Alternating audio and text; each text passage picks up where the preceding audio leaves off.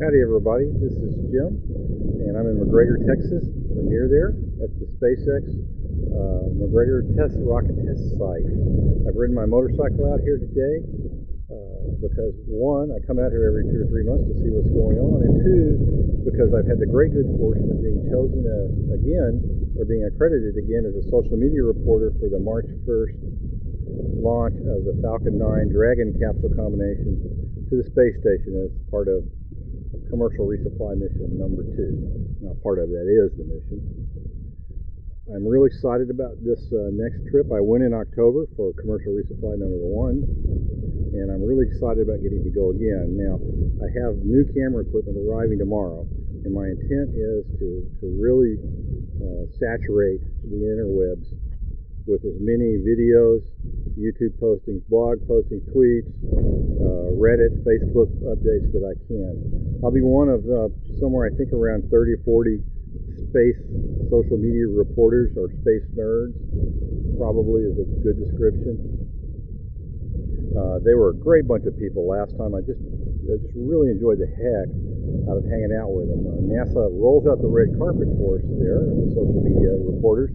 We get our own little press building with good solid internet, lots of power, power outlets at each desk, video feed, the NASA video feed on HDTV.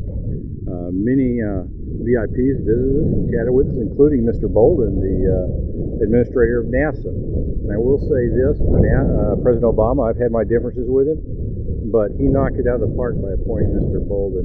He is a, an outstanding man, former Marine fighter pilot general officer, and really is a guy that I, I can't think, I don't think we have, and a former astronaut, I don't think we have a better man to, to, to administer our space program than, than we have in Mr. Bolden. It's just super that he's doing that job. The CRS-2 mission, this should be a routine mission. This is the second of 12 planned resupply missions to the shuttle.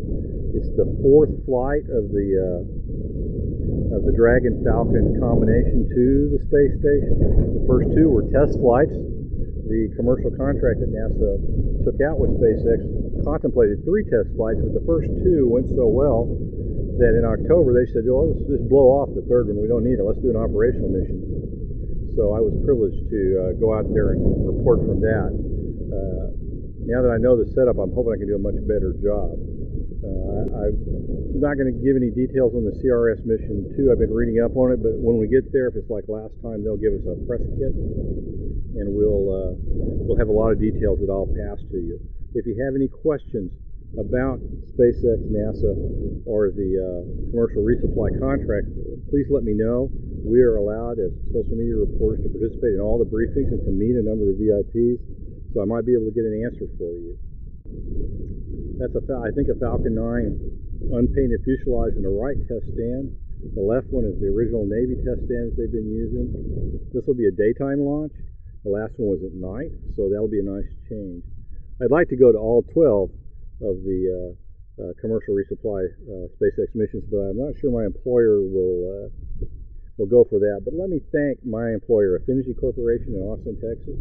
The CEO, our CEO, is uh, uh, very supportive of me taking a week off to go do this, and uh, I, I, am very grateful. I'm very grateful to Affinity.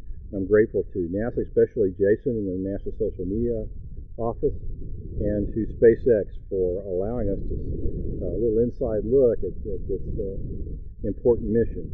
I really think commercial resupply, commercially contracted routine orbital missions is the way to go in the future from the military. I am ex-military. I am retired Air Force, and I do think that I hope SpaceX gets a fair shot at competing with the United Launch Alliance, Launch Alliance to uh, to compete for the large uh, national security payloads that launch from time to time. Uh, uh there's nothing wrong with United Launch Alliance. They're a fine company. They've done, uh, I guess, 60 uh, national security launches in a row without a, a serious problem and uh, but uh, competition helps everybody. It'll help competition will help ULA, it'll help SpaceX, and the, the winner will be the uh, Air Force and the taxpayer.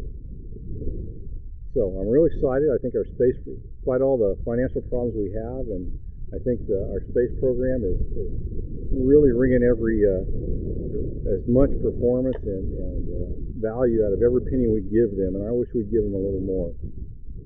This is Jim, SpaceX McGregor Test Site, McGregor, Texas.